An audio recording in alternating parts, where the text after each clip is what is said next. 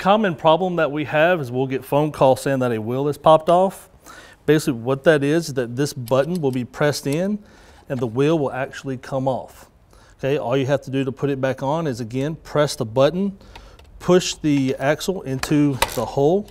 You'll hear a click and then release the button and pull the wheel back. You will see that it will not move and it is safely secured. With the smaller wheel, it's the exact same function.